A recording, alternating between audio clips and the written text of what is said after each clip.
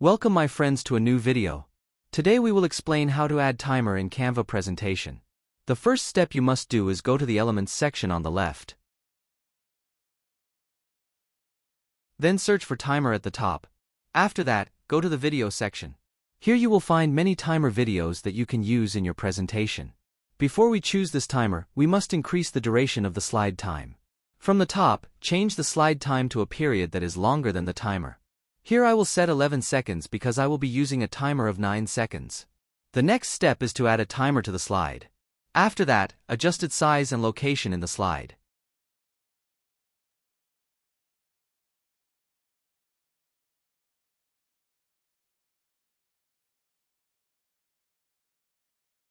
The next step is to right-click on the timer and choose Show Timing. From the bottom of the timeline we will make the timer disappear when the timer expires, which is 9 seconds.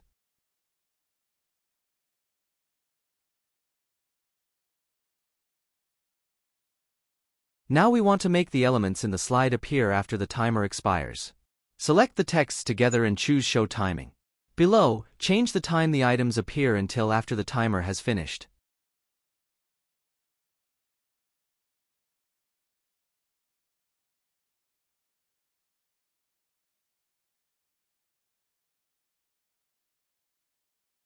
I will add animation by clicking the Animate button at the top.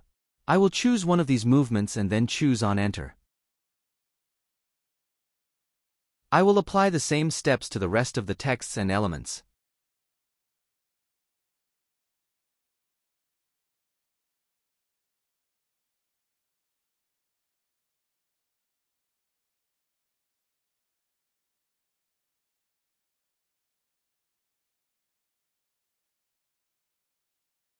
As you can see, the timer has been added successfully, and when the time expires, the items appear.